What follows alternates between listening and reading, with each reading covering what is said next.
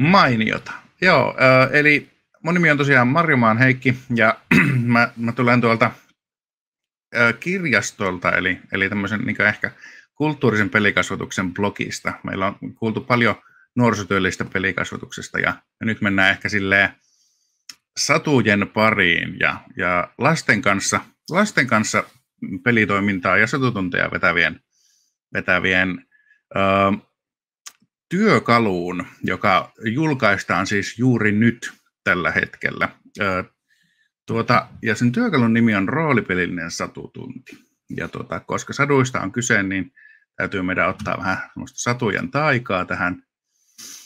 Eli tällä työkalulla saat tehtyä satuhetkistäsi osallistavan tarinankerronnan elämyksiä. Ja äh, lähdetään katsomaan, että mistä siinä on siis sitten kyse. No, olette ehkä kaikki joskus ollut jonkunlaisella satutunnilla tai, tai kuunnelleet satuja, kun niitä kerrotaan tai muuta. Ja näissä saduissa, satutunneilla usein on aika, aika passiivinen semmoinen kuuntelijan rooli.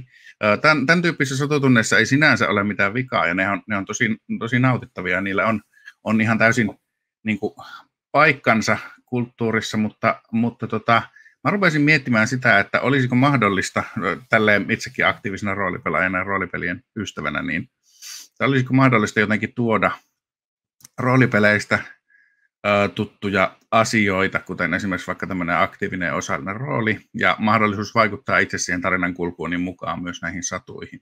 Ja tota, sitä kautta sitten syntyi, syntyi tosiaan tämä roolipelinen satutunti. Meillä oli, äh, oli tota, mulla oli testiryhmänä vielä, vielä sitten Vaarakirjastoista muutama, muutama peluuttaja ja, ja suuri kiitos heille. Äh, ilman heitä ei olisi, tämä ei olisi tässä muodossa niin kuin tämä tänään julkaisussa on. Ja äh, tässä roolipelissä satutunnissa, tämä on siis tällainen 18 sivun kirjanen, jos, jossa tota, neuvotaan, miten tämä roolipelinen satutunti sessio vedetään.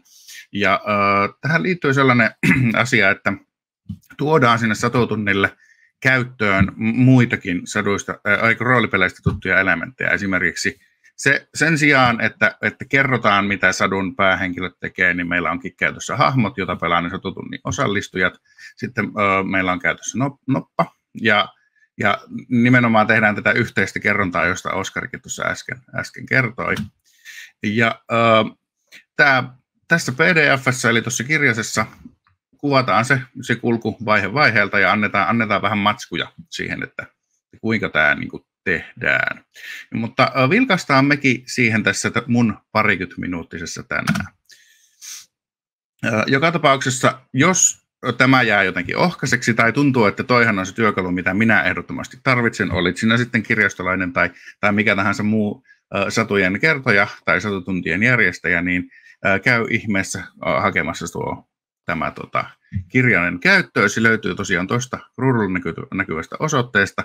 Tuo URL on tulossa vielä viimeisessä diassa uudestaan, joten ei hätää. No, miten se sitten toimii? Roolipelillä satutunnilla ohjaaja on pelinjohtaja. Eli se ottaa eräänlaisen päätarinan kertojan roolin kuljettaen eteenpäin yhteistä tarinaa, asettaen tarinalle puitteita. Joo, ja, ja kertoen tämä tällaisen roolipelillisen satutunnin ohjaaja on ehkä se, se henkilö, joka kertoo, mitä tapahtuu, millainen sää on ulkona, mitä, mitä nämä, nämä tarinan päähenkilöt näkevät. Ja hyvin yleinen, yleinen tapa on toimia niin, että ensin se tämä kertoja tai pelinjohtaja niin, tai no, session ohjaaja kertoo, että mitä, mitä näkyy, mitä, mitä tota, nämä päähenkilöt ehkä aistivat, ja sitten päähenkilöt kertovat reaktionsa näihin. Ja tosiaan mukana olevat satutunnille osallistujat luo tähän tarinaan ne päähenkilöt itse. Että mä, ö, tähän ö, roolipelilliseen satutuntiin liittyy hahmon luonti olennaisena osana. Ja se, sen voi tehdä joka kerta, tai sitten jo kerran luotuja hahmoja voi käyttää seuraavalla satutunnilla uudestaan, jos niistä oikein, niin oikein tykästyy. Mutta joka tapauksessa idea on, että koko satutunti tapahtuu vuorovaikutuksessa keskustellen siitä, mitä, mitä koetaan ja kuinka päähenkilöt tähän reagoivat. Ja näin syntyy sitten loppujen lopuksi tarina, jossa on alku, keskikohta ja. Mutta jos tuntuu, että, että tämä konsepti on sellainen, että, että toi olisi hyvä, mutta pitäisi yhtä juttua viilata, niin ihan täysin vapaasti voit, voit purkaa sen ihan täysin osia ja käyttää sieltä niitä, niitä osia, mitkä on sulle hyödyllisiä, joten, joten tota, ei muuta kuin sekkaa ne. Uh, no sitten, kenelle tämä sopii?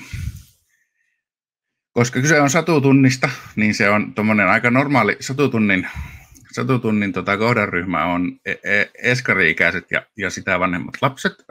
Satuja kerrotaan paljon nuoremmillekin, mutta roolipelillisessä, roolipelillisessä satutunnissa on usein sillä lailla, että, että siinä täytyy ehkä hieman sisäistää sitä narratiivia ja, ja ehkä, ehkä tällaista säännöstöäkin. Niin nuorempiakin voi olla mukana, mutta en suosittele vetämään ihan niin pelkästään taaperoikäisille, koska he saattaa olla heille hieman sekavaa, että, että miten tämä etenee ja mitä tässä tapahtuu ja kuinka. Siinä joutuu ohjaamaan, sanotaanko todella paljon. Mutta sitten, jos on esimerkiksi muutama pienempi, niin voi tehdä sellaisia pelaajapareja, jossa joku vaikka eskariikäinen, joka jo hyvin sisäistää, miten tämä, tämä roolipelinen satutunti toimii, niin voi ottaa niin kuin pelikaveriksi siihen sitten pienemmän, jota auttaa. Ja Lapset ei ole ainoa, ainoa porukka. Tätä roolipelistä satutuntia voi hyvin hyödyntää esimerkiksi erityisryhmien kanssa, ja jossa muutenkin usein hyödynnetään satutoimintaa ja, ja tällaista. Ja ähm, tästä on muitakin hyötyjä kuin se, että me saadaan nauttia uniikeista vain sitä sessiota varten syntyvistä saduista, vaan me saadaan, pystytään myös tätä kautta rohkaisemaan. No, niin kuin tiedätte, esikouluikäiset ei välttämättä kaikki osaa lukea tai kirjoittaa, mutta tällainen äh, roolipelillinen satutunti, kun se, ja kun ylipäänsäkin satutunneille osallistuminen nuorella iällä rohkaisee äh, lukemaan, lukuharrastukseen ja, ja sitä oma, omaan kautta rohkaisee myös kirjoittamiseen ja omien tarinoiden luomiseen. Ja, ja tämä on mahtavaa harjoitusta siihen, että kuinka itse luodaan, luodaan tarinoita. Näin. Ja se on aika maagista siellä siellä niin roolipelisessiossa oleminen, kaikki ketkä ovat olleet, niin tiedät, tietävät, mistä mä puhun. Että se, että meillä on todella niin monen ihmisen, koko sen pöydällisen ihmisiä mielikuvitus käytössä ja, ja se potentiaali tarinan monenlaisiin kulkuihin käytössä samaan aikaan, niin se on, se on ö, aika säväyttävää ja se jää varmasti kyllä mieleen. Että, että tota, ja ö, jos tunnin päästä päästään siihen, että on luotu kiinnostava tarina ja nautittava hetki tarinan parissa, niin mikä sen parempaa. Ö, osallistujien määrästä sen verran, että roolipelisessiot normaalisti ei hirveän helposti, se on ehkä semmoinen 2-6 on sellainen niin optimimäärä määrä pelaajia. Muuten käy niin, että, että tota, jos on enemmän ö, näitä, näitä pelaajia, niin, niin sitten saattaa olla niin, että tosi monille tulee paljon odottamista, että, että pääsee taas kertomaan, mitä he sun hahmo tekee. Ja jos on taas sitten vain yksi, niin sitten se, se saattaa olla, tota, no silloin saattaa tulla sitten toisinpäin, että joutuu liikaa osallistumaan ja ei saa mitään sellaista hengähdystaukoa siinä välissä. Kahdella jo menee ihan hyvin. Jos niitä osallistujia on enemmän, esimerkiksi luokallinen, niin sen sijaan, että tekee kaikille omat hahmot, niin voi tehdä vaikka ryhmille omat hahmot niin, että, että neljä, viisi ryhmää ja jokaiselle, jokaiselle oma hahmo, mitä ryhmä sitten pelaa. Ö, testeissä tuli vastaan myös sellainen tilanne, missä oli 80 osallistujaa tällaisella roolipelillä satutunnilla, ja, ja se o, onnistui ratkaista niin, että sen sijaan, että tehtiin sotutunnille osallistujille hahmot, niin tehtiinkin sille vetäjälle hahmo ja, ja tota, silloin käännettiin roolit niin, että, että tota, lapset ö, loivat tarinan puitteet ja, ja ohjaaja pelasi sitä ja reagoi niihin lasten ma- maailmoista tuleviin, tuleviin syötteisiin. Se, mitä tähän tarvitaan, on Tosiaan tuo 18 sivun kirjanen, jossa selitetään tarkkaan, miten tämä toimii. Sitten kyniä, kumeja, vähän sellaista, minne voi, voi kirjoittaa ylös, erityisesti ohjaajalle tosi tärkeää. Ja tosiaan se yksi noppa olisi ehkä hyvä olla, katsotaan kohta mitä varten. Roolipelilliset satutunnit kulkee normaalisti, se sessio toimii siis niin, että ensin valitaan maailma yhdessä. Minkälaisessa maailmassa tämä meidän satu tapahtuu. Sen jälkeen luodaan hahmot tuohon maailmaan ja tota, esitellään ne hahmot muille. kohta katsotaan lisää vähän tuota hahmon luontia. Sitten saadaan, nehän nämä hahmot saa jonkunlaisen tehtävän, joutuvat seikkailuun.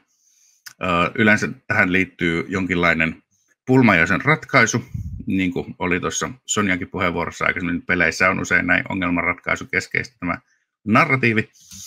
Sen jälkeen, kun tämä ongelma on ratkaistu ja, ja sankarit ovat olleet sankareita, niin hahmot palaavat kotiin ja katsotaan, kuinka maailma muuttui näiden hahmojen tekemisten toimesta. Ja lopuksi vielä tullaan pois hahmoista ja rupatellaan tällaista purkutyyppisessä keskustelussa enemmän se, että että tota, tuliko jotakin mieleen tuossa ton tarinan aikana ja halutaanko jutella vielä, että, että saadaan tavallaan niin jotenkin järkevästi loppumaan se narratiivi, että ei se lopu vaan silleen, sen pituinen se ja voitte lähteä kotiin, vaan se, myös se sessio ikään kuin puretaan joka kerta. Ja no, maailmanvalintaa, jos katsotaan ensin, niin tuossa nyt on kuusi esimerkkimaailmaa, missä voi tapahtua vaikka minkälaisia jännittäviä satuja. Ja tota, näihin kuuteen maailmaan löytyy kaikkiin valmiit satupohjat tuosta kirjasta. Katsotaan kohta vähän sitä, että miltä ne satupohjat näyttää. Ja no, teillä, ketkä, ketkä olette ehkä niin kuin, mm, paljon roolipelanneet, niin saattaa olla, että tulee heti mieleen, että mitä kaikkea noissa maailmassa voisi tapahtua maailmanvalinnan jälkeen tosiaan luodaan ne hahmot. Ja tässä ö, on olemassa mekaniikka hahmon luonnolle, mutta tämä mekaniikka on hyvin yksinkertainen ja helppo. Eli jokainen osallistuja tai sitten ryhmä miettii hahmostaan kolme asiaa, joista rakentuu tämä hahmo kokonaisuudessaan. Ensimmäinen asia on nimi tai rooli tai ammatti tai tehtävä tuolla pelimaailmassa. Sitten joku asia, missä tämä hahmo, mikä luotiin, on tosi hyvä – ja jokin, jokin asia, mikä on tämän heikkous tai pelottaa henkilöä tai on jotenkin muuten, muuten tuollainen. Ö, eli hyvä juttu, huono juttu ja nimi. Ja tästä syntyy hahmo. Ja toki aina maailman mukaan tehdään. Että fantasiamaailmassa saattaisi olla yksi hahmoista vaikkapa Philip, hovivelho, e, eli nimi ja rooli joka on erityisen lahjakas tulitaijoissa, tarkoittaa käytännössä sitä, että kaikki tuleen liittyvät loitsut onnistuvat hänellä automaattisesti, ja hän pelkää hämähäkkiä, eli jos kohdataan hämähäkkiä, Filip tarvitsee muiden hahmojen apua selvitäkseen tilanteesta. Metsäseikkailussa voisi taas olla Osmo-orava, joka ei pidä vedestä, mutta osaa hyvin kiivetä, tai avaruusalusseikkailussa voisi olla Stella, sukkulapilotti, joka osaa lentää paremmin ja taitavammin kuin kukaan, mutta on todella ujo, eli sosiaalisessa tilanteessa on heikkous. Ja näin edespäin. Katsotaan vähän tuota, miten tämä noppahomma toimii. Eli silloin tällöin voi tulla sellainen juttu, että, että hahmot haluavat, tai pelaajat haluavat, että hahmot tekevät asioita, mikä ei välttämättä onnistu. Ja silloin heitetään yhtä noppaa. Ja jos heittotulos on 4, 5 tai 6, se hahmon yrittämä asia onnistuu. Jos heittotulos on 1, 2 tai 3, se epäonnistuu. Jos on tosi kokenut tällaisten pelillisten satutuntien vetäjä, niin voi ottaa vielä tällaisen erityissäännön, missä kutosen heittämällä se onnistuu erityisen hyvin tai näyttävästi, joten pelaaja saa vähän mehustella sillä, kuinka hyvin se onnistuikaan. Ja sitten jos heittää ykkösen, niin ohjaaja voi auttaa. Siinä voidaan kertoa, että saadaanko jonkunnäköinen slapstick-komediallinen hassu, hassu tota, epäonnistuminen, vaikka liukastuminen sinne tai jotakin muuta. Ja, ja tämä kannattaa ohjaajan kuvailla pelaajan kanssa yhdessä yksin, on vähän kurja, kurja kuvailla omaa epäonnistumista, jos ei. Erityisesti jos on lasten suhteen, että lapsilla on, on usein niin, että he haluavat onnistua ja epäonnistumisen kohtaaminen on, on helpompaa, kuin siinä on ohjaaja mukaan. Mutta joka tapauksessa molemmat vaihtoehdot, ihan sama mitä sillä nopalla heitetään, niin tarina ei pysähdy, vaan se jatkuu eteenpäin. Jos hahmo yrittää tehdä jotain, missä hän on todella hyvä, vaikka esimerkiksi nämä Filipin tulitajat tai Osmo-oravan kiipeäminen, ei tarvitse heittää noppaa, se onnistuu suoraan. Jos taas heikko, kohtaa heikkoutensa, tarvitaan aina toisen hahmon apua selvitäkseen tilanteesta. Ja nopeaheittoja, jos tuntuu, että on vaikeaa ja, ja ei jotenkin saa niitä istumaan omaan, omaan roolipelillisen satutuntiinsa, niin sen nopan voi jättää pois. Silloin se usein menee niin, että pelataan niiden hahmojen vahvuuksilla ja heikkouksilla ja, ja tota, pelinjohtaja sitten päättää, mikä onnistuu ja mikä ei onnistu. Hahmot tosiaan esitellään, kun ne on luotu, niin kaikki saa vuorollaan kertoa juuri luomasta hahmosta. Ja tässä vaiheessa on hyvä kirjata ylös, ohjaajan erityisen hyvä kirjata ylös, että mm, mikä on hahmon nimi, mikä on vahvuus ja mikä on heikkous. Tätä varten, että voidaan sitten tuoda sinne peliin esimerkiksi haasteita, jotka, joissa tarvitaan tämän hahmojen vahvuuksia. Esimerkiksi jos tarvitaan, jos Osmo Orava olisi tuossa sadussa, niin silloin olisi hyvä laittaa sinne haaste, että joku juttu on jossain tosi korkealla puussa, missä ainoastaan Osmo pystyy kiipeämään. Ja sitten taas jos, mm, jos tota, Philip, tämä ö, tulitaikuri olisi siinä, mutta pelkää hämähäkkejä, niitä hämähäkkejä voisi laittaa sinne, koska silloin ö, ryhmä joutuu taas miettimään keskenään, että kuinka me autetaan tätä Filippiä ja näin edespäin. Ja ö, tosi tärkeää on myös puhutella sen pelin aikana niitä hahmoja niiden hahmojen nimillä, eikä ö, pelaajan nimillä. Se, se tekee sen hyvän niin kuin immersion siihen, siihen tarinaan. Lopuksi voi, jos on aikaa, niin käydä myös nopean kierroksen, että mitä hahmot puuhaavat, kun eivät ole seikkailemassa ja, ja tota, siihen voi ottaa jonkun ympäristön ja kysyä, että mitä, mitä tapahtuu. Ö, tarina alkaa siitä, että saadaan tehtävä. Ja se usein tässä vaiheessa tapahtuu jotain, mikä rikkoo sen normaalin arjen. Näin hahmot joutuvat seikkailuun ja, ja tota, ö, tämä on semmoinen ehkä intro-kohtaus, sadun, sadun tarinan ensimmäinen varsinainen kohtaus. Ja jos tässä vaiheessa halutaan kieltäytyä, että hahmot eivät haluakaan lähteä ottaa tätä nielaista tätä tarinakoukkua, niin, niin toki ö, silloin voi antaa heidän pelata vaikka tosi rauhallinen sessio ilman sen kummempaa seikkailua, jos, jos näin on. Kyse on kumminkin roolipeleistä, missä voi käydä mitä vaan. Sitten tullaan sadun tärkeämpää kohtaan, joka koostuu periaatteessa kolmesta asiasta.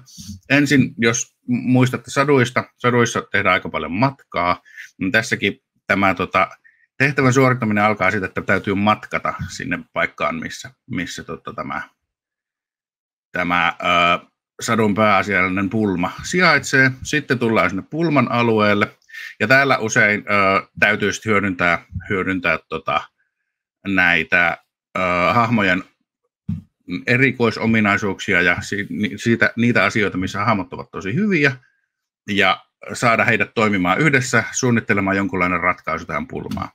Sitten tullaan ratkaisukohtaan, missä tämä pelaajien kehittelmän ratkaisu tosiaan laitetaan testiin ja yritetään saada onnistumaan.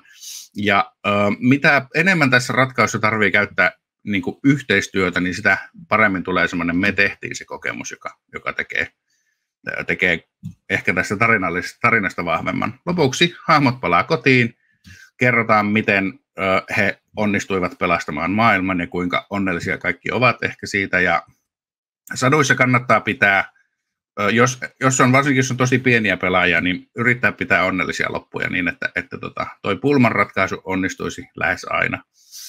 Sitten kun tulee pelaajat varttuvat, niin sitten voidaan ottaa myös myös ehkä vähän negatiivisempia loppuja, mutta saduissa on usein onnellinen loppu, muistakaa se. Ja kannattaa tässä tosiaan kuunnella tosi tarkkaan niitä syötteitä niiltä pelaajilta, että, että jos he haluaa, että tarina menisi, menisi juuri tietyllä tavalla, niin tarkkakorvainen pelin johtaja sitten ottaa sen elementin sinne tarinaan. Ja lopuksi esirippu sulkeutuu ja sitten tosiaan tullaan sinne, sinne tuota, loppuun ja purkuun ja laitetaan, kannattaa erikseen ihan sanoa, että nyt laitetaan hahmot pois ja pidetään pieni juttutuokio ja nyt jutellaan hahmoille, pelaajille omina itsenään. Nyt kannattaa kysyä, että oliko kivaa, jäikö joku osa tarina, tarinasta epäselväksi. Joskus saattaa jäädä niin, että jää häiritsemään, että mitenhän me päädyttiin siinä yhdessä kohdassa johonkin paikkaan ja, ja näin edespäin. Sitten tarinahahmoista, erityisesti jos on vähän jännittäviä, pelottavia kohtia, niin tässä voi purkaa niitä voi kysyä, että oletteko kiinnostunut samoja hahmoja uusista seikkailusta, mutta jos ei aio peluttaa samoille hahmoille, niin ei kannata kysyä sitä. Ja ö, tämän paketin mukana on siis tällaisia A4 kirjoitettuja valmiita satupohjia kuuteen eri maailmaan. Niitä voi hyödyntää oman ideoinnin pohjaksi tai, tai tota, ö, peluttaa suoraan. Eli niitä on noin, niitä on kuusi. Mutta siinä on tavallaan kuusi satua jo valmiina. Sitten on tuommoinen muistiinpanopohja niiden pelaajien tietojen kirjaamista varten. Ja sitten tuommoinen tyhjä satupohja, mikä on apuna siihen, että voi itse suunnitella niitä, niitä tota, pelejä tai, tai pelillisiä satutunteja. Tuossa on vielä kerran se URL niin kuin luvattu, ja tota, käykää hän hakemassa pelille, roolipelillinen satutunti työkalu itsellenne sieltä käyttöön.